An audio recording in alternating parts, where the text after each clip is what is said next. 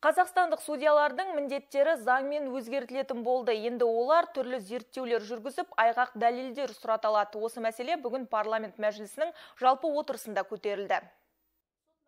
Қазақстандық соттар бір жылда 6 миллион іс қарайды, оның жартысына жуығы азаматтық істер. Шығарылған үкімге екі тараптың қатар келісуі, соған көнуі некен саяқ. Әркез шағым айтушы жақтың болары анық. Десе де депутаттар жүйеге деген көптің сенімі жоқ деп санайды. Үлкен өзгеріс керек деп отыр. Сотқа бекерден бекер адам жүгінбейді.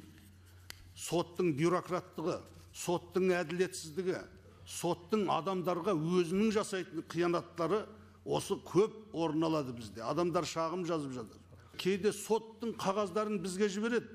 Сол қағаздарды оқысаңыз оқуға ұяласың. Сауатсыз қағаздар жазады сауатсыз шешім шығарады соттар. Соттар өздерінде логика жоқ.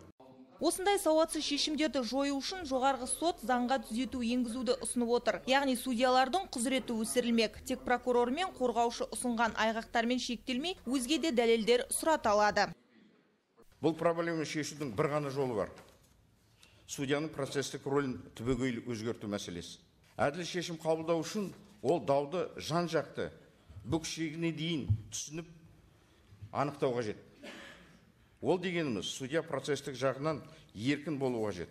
Қандай уәжді немесе дәлелдерді зерттеу керек екен ол өзі анықтау қажет.